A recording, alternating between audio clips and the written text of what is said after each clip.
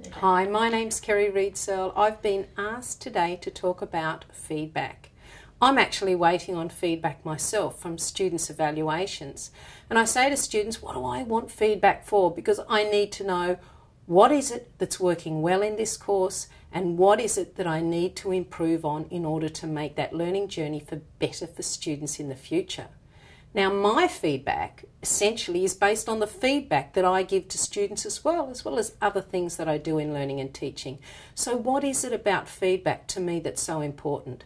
Feedback gives direction, it gives guidance. It talks about the strengths, it talks about the weaknesses, and there's difference between constructive feedback and destructive feedback. So I reflect back as a learner myself, the first assignment that I ever got when I received that assignment, I looked through it and there was nothing there. There was some ticks there, there was some a few words, but it gave me nothing about why I got the grade that I did. I challenge everybody when they're giving us feedback to students to think of themselves as learners and what is it that they would like in terms of giving direction for future papers. There's different things that I look at with assessment in my course. I can give immediate feedback in a laboratory context where students are doing skills and I can say that's great or yes, let's work in this way. We debrief after every session and we talk about the directions and ways we can improve and what worked well. I also have feedback on a regular basis on Moodle where students can ask questions and I give them feedback in terms of, yes, this is a really good idea, perhaps you might want to think about this, or perhaps you're on that wrong tangent and you need to refocus on this, this, or this. But assignments are probably the biggest thing that I look at in terms of constructive feedback. How do I do this? First of all, my feedback is also based for students on the clear expectations that are given to students at the outset of their assignment. So when students do what is expected of them because those guidelines are clear, the marking criteria is clear, the expectations are clear. When students receive feedback, it's simple in terms of I didn't meet the expectations that were set. But when students get upset because feedback hasn't been suffice, often that has been based on the fact that the clear directions were not given by the lecturer at the outset of that assignment task.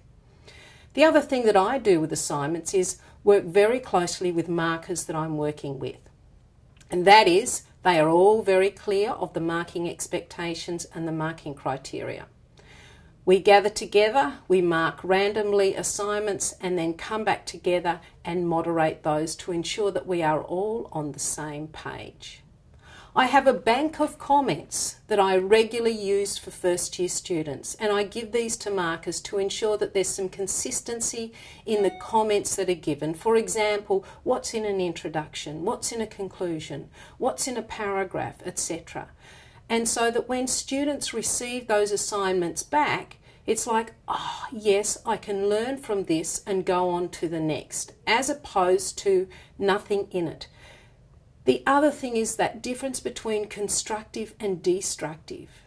Think about the mood you are in when you are giving feedback to students on written assignments. If it's late at night and that is the last assignment that you're marking for that evening, or that you've had some negative ones in the past, put it down and sit aside so that you come back fresh because sometimes our human nature allows us to put in negative comments which can be very soul destroying for students.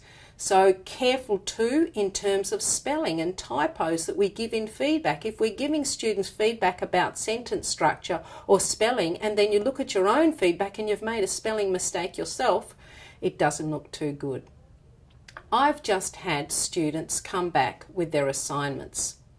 In this course, this is the first time that I've seen quite a few failures.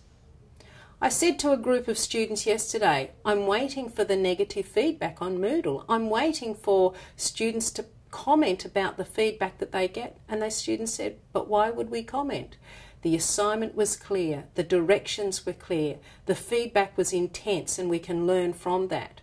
And no lecturer failed us, we failed ourselves because we didn't do what was asked of us in the first place.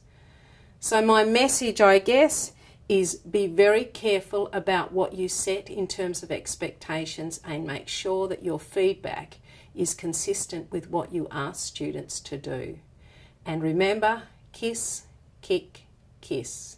A kiss is find something good about everything that students are doing, even if they are doing the most appalling assignment. Maybe it's their writing, uh, their print is nice, or their font is nice. Something is good.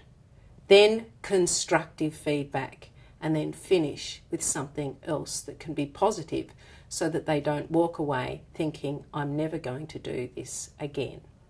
Thank you.